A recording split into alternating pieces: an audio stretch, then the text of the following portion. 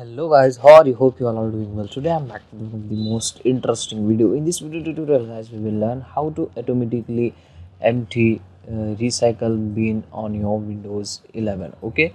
So for this guys first you need to open your windows settings hold windows key button and then press i from your keyboard.